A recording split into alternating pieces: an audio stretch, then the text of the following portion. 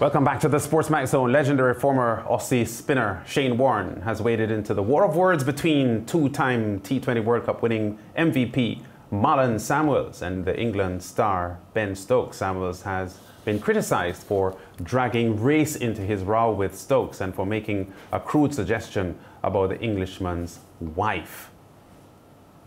Here's what Marlon Samuels had said in a foul-mouthed um, outburst. No white boy could diss me in the sports. And no get back this. Look at this. Uh, still thinking about me. Give me 14 days with your wife. Turn her into a Jamaican in 14 seconds, mate. None of you all knows me. That simple means am expletive, superior, skin tone. Marlon Samuels there in response to uh, Ben Stokes putting something out on social media about the quarantine how difficult it is and how um, mentally draining it is, and saying he wouldn't wish it on his, his worst enemy. And uh, the suggestion came up that not even Marlon Samuels, he would wish that to be happening to so bad as a quarantine or that Uro had started because Ben Stokes had said all of that in a conversation he said with his brother about enduring the difficult conditions of the quarantine. Now, there is no love lost between Shane Warne and Marlon Samuels. The beef between them dates back to their days as rivals in Australia's Big Bash. Those were the comments you just saw there of Ben Stokes explaining in, uh, in a social media um, presentation about how he was discussing the difficulties of the quarantine with his, his brother. And Shane Warne joins in now because of uh, Marlon Samuels' uh, response to Ben Stokes' comment. He said, I've just been sent the Samuels, uh, what Samuels has posted, re Ben Stokes, and it is very, a very sad situation as he obviously needs serious help but has no friends at all and not even his ex-teammates like him. Just because you were an ordinary cricketer no need to be an ordinary person. Get help son. So Shane Warnes joins in and uh, Marlon Samuels of course did not let Warne's comments slide. He responded this way. Haha I need help is this coming from the first cricketer to do a face surgery to look young? Doc, can I use the skin from my belly, doc? No warning from your... Boy, calm down. So Marlon Samuels is um, responding to, well, almost everyone who is criticizing him about his comments about Ben Stokes. And uh, I'm not sure if this is going to be the end of it because Marlon um, doesn't stop, does he? Um, for several years, even over a decade, Wayne Lewis has interacted with Marlon Samuels, first as a Weeper person and then also as a team selector for the Jamaica team, the Jamaica Cricket Association, while Marlon was still representing Jamaica. Uh, what are your views, Wayne, on, on this saga? It's a nothing situation. Nothing. First, first, I'm going to talk a little bit about Shane Warne saying he has no friends. I don't know that Shane Warne knows that Marlon has no friends. And I think he's adding fire, fuel to the fire by getting involved this way and saying that he needs help and so on, he gets help and so on, and he's an ordinary cricketer, doesn't need to be an ordinary person. I don't know that he needed to have gotten involved in it. This was a situation between Ben Stokes and Marlon Samuels. I thought Marlon Samuels overplayed it. I thought he overreacted, and there was absolutely no need for him to refer the situation and getting his wife involved in it and saying that 14 seconds should be at Jamaica and if he give me half for 14 days. I thought that was out of line. But I mean, Marlon is Marlon. He's going to react the way he, he, he feels. Mm. He talks about the fact that he's also very rich, and therefore, I don't know that money should play a part in all of this because these guys are all rich guys anyway. But I just think that Marlon didn't have to go there. I don't know that he had to to respond the way, this vile way that he did, and I thought that it's just very sad that he would go there, Yeah, and it looks we- very bad. And a lot of persons, it's been talked about a lot. A lot of cricketers all over the world are talking about it, and Marlon is being put in, in a very bad way. Wayne, can we say this goes back to, of course, the rivalry on the field? Because, you know, Shane Warne and Marlon Samuels has gotten into um, altercations on the field and then um, Ben Stokes. So Shane Warne seeing this as an opportunity to just slide in.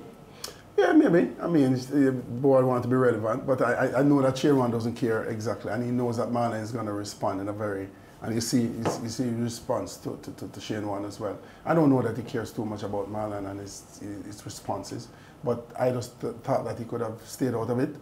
And, and again, Marlon really didn't have to go there. I thought that when I read it, Ben Stokes was just being nice, being funny. He is, isn't the one who even mentioned Marlon. Ben Stokes' brother said to him, not even oh. Marlon Samuel is in a joking way. Yeah, but he didn't have to put that out though. Exactly. He didn't have to put that out. Because and- some light, and it's he- light-hearted he- stuff, Lance. It's not serious. No, but Yeah. yesterday George made a point, um, and I want to bring it back into the discussion because I feel like it's suitable at this point.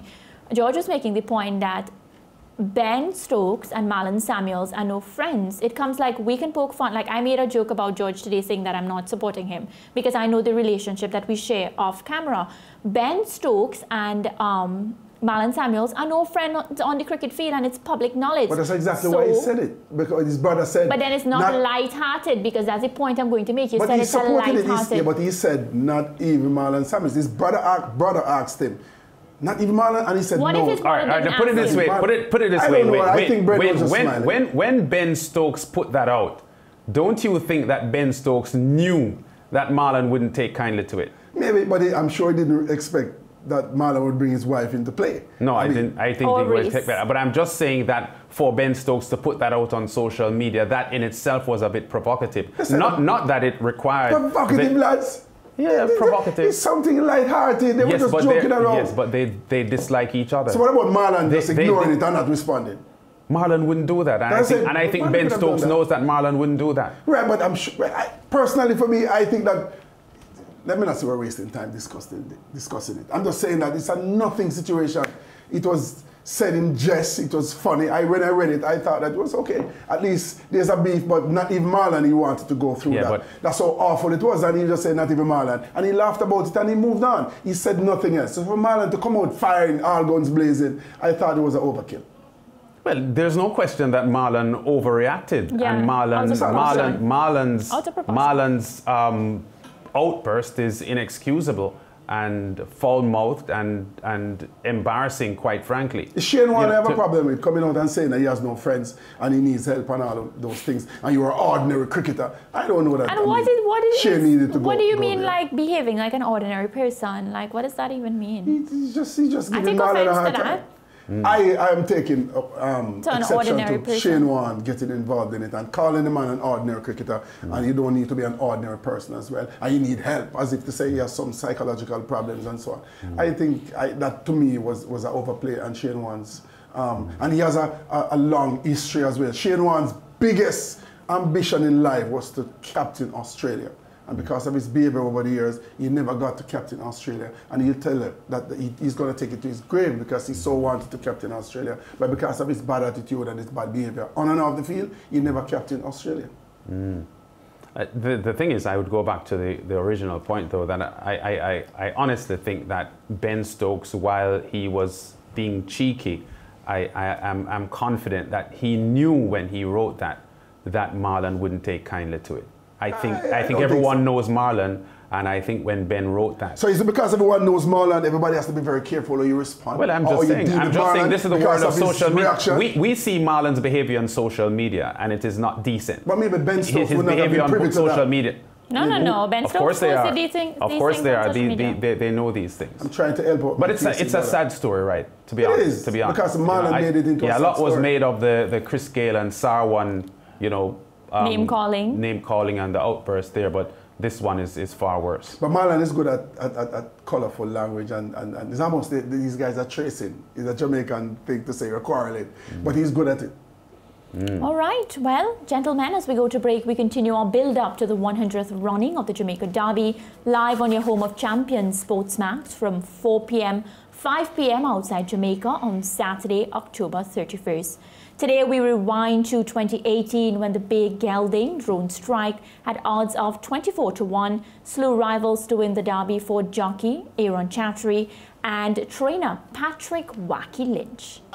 as the tempo will increase in the derby. They're about to arrive at the half mile, and Marquesas has now shot through and taken a three length lead over Drone Strike. The filly Ferouz is asked now and called on for every effort as they leave the 716th. A break back to Contractor and Sun Sun. Commander 2 has faded badly. Lisa's Pepsi is pushed along in behind, but up front as they arrive at the 516th, it is Marquesas, and here here is the surprise of the party. Drone Strike now throwing down a strong challenge. Marquesas drifts off the rail. Drone Strike gets a perfect rail run and Drone Strike now hits the front in the derby as they leave the 316th. Marquesas battling under the left-hand stick. Forget Fayrouz, son, son, and the rest. It is Drone Strike with a furlong to run. Drone Strike out in front. Marquesas has no answers and it is Drone Strike surprisingly in that lead and beginning to open up in the end. Drone Strike will take it at 24 to 1. Drone Strike wins the derby over Marquesas.